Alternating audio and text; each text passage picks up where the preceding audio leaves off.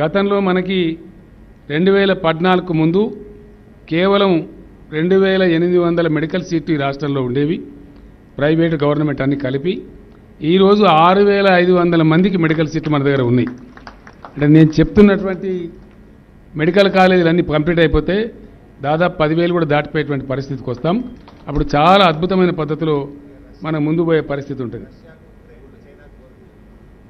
హరీష్ గారు చెప్తా ఉన్నారు రష్యాకు ఉక్రెయిన్కు చైనాకు పోయే అవసరం కూడా రాదు.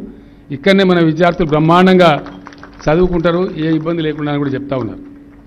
పీజీ సీట్లలో కూడా సగానికంటే ఎక్కువ పదకొండు వందల యాభై సీట్లు గతంలో ఉంటే ఈరోజు రెండు వేల ఐదు వందల సీట్లు పీజీ సీట్లు కూడా మన రాష్ట్రంలో ఉన్నాయి. చాలా బాగా చక్కగా మనం పురోగమిస్తూ ఉన్నాం. నేను మీ అందరినీ కోరేది ఒకటే. మనం తెలంగాణ తెచ్చుకున్నాం తెలంగాణ పురోగమిస్తూ ఉన్నాం. దేశానికే ఒక ఉదాహరణగా మనం ఉన్నాం. ఇక్కడ ఎక్కువ మీరంతా చదువుకున్న వాళ్ళు చదువుకుంటున్న వాళ్ళు ఇంటలెక్చువల్స్ ఈ వేదిక మీద కూడా మా ప్రజాప్రతినిధులు అందరూ ఉన్నారు ముఖ్యులందరూ ఉన్నారు కాబట్టి నేను ఒకటే ఒక మాట ఈ సందర్భంలో మీకు మనవి చేస్తూ ఉన్నా.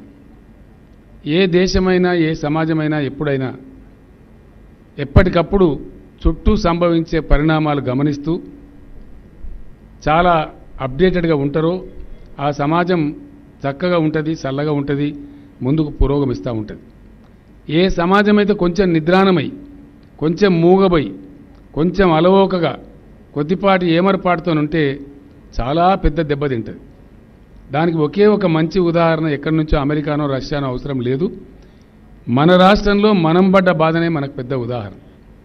ఒకనాడు తెలంగాణ నాయకత్వం కొద్దిపాటి ఏమరపాటుతో ఉంటే ఉన్న రాష్ట్రాన్ని పొడగొట్టుకుంటే మళ్ళీ తిరిగి మన రాష్ట్రం మనం సాధించడానికి ఎంతమంది చచ్చిపోయినాం? ఎన్ని ఉద్యమాలు చేసినాం? ఎన్ని లక్షల మంది జైళ్ళ పాలైనాం? ఎన్ని దశాబ్దాల కాలం పట్టింది? తెలంగాణ ఎంత నష్టపోయింది? అది మనకు తెలుసు. ఏడేళ్ళ కింద తెలంగాణ ఏంది?